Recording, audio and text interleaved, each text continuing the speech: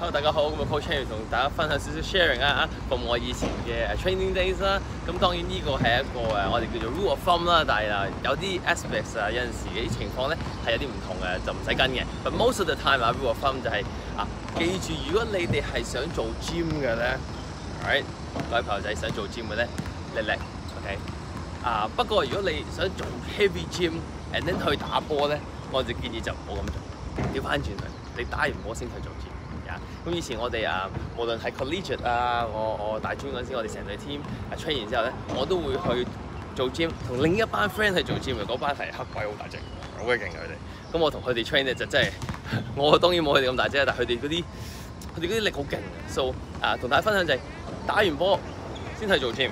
especially 如果你真係想做一個 heavy session 嘅，你千祈唔好調翻轉，做完 heavy session 去打波咧，你就會發覺咧，你隻手咧係好鬼死重啊，你喐唔到塊球拍噶啦，呀！咁呢個就有少少温馨提示俾大家，同埋啊你唔會打到誒、你想打嗰種、movement pattern 出嚟嘅，呀！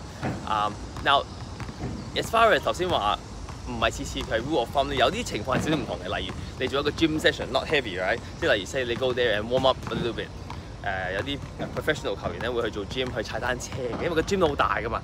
其實如果你有佢個 gym 咧，一個好嘅 gym 咧，佢有唔同嘅部門嘅，佢有誒 strengthening 啊，佢有 metal part 啊，有 machines 啊，佢有誒 treadmills 啊，佢有 yoga 啊，佢如果係叻好叻叻，佢有 TRX 啊，and then 亦都有一啲誒嗰啲唔同嘅誒、叫做 functional training 嘅 station 嘅 section 嘅，咁。